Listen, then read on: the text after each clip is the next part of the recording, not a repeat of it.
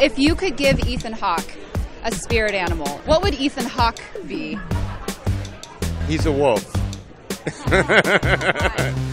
because he took on this role with such uh, vigor and uh, attacked it with all his heart and soul. Tiger. Definitely. kangaroo, but I don't have any reason behind that. I just, I just, I just really like kangaroos. Basset hound. Yeah. I'm trying to find the sitting spots. I'd probably say uh, giraffe.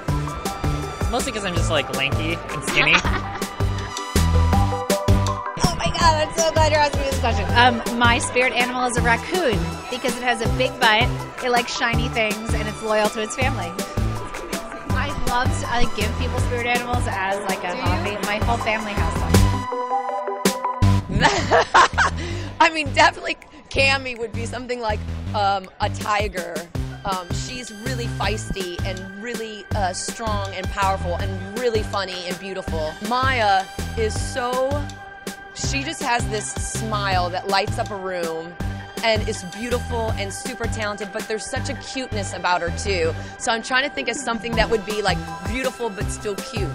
Like, what's an animal that, spirit animal, that, um, you just like want to cuddle with her. A dolphin! No, a dolphin's perfect because there was dolphins in the movie. That was like the whole phrase of like dolphins forever. She would totally be a dolphin.